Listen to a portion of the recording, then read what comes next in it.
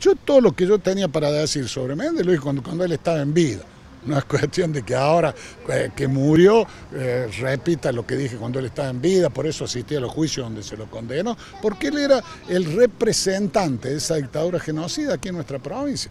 Pero nosotros los cordobeses y los argentinos, los que tenemos que siempre recordar y tener memoria lo que significó la dictadura genocida, porque la dictadura genocida fue la que hundió nuestra patria en la más larga noche de oscuridad de nuestra historia, fue la que destruyó el aparato productivo y el tejido social de nuestra patria.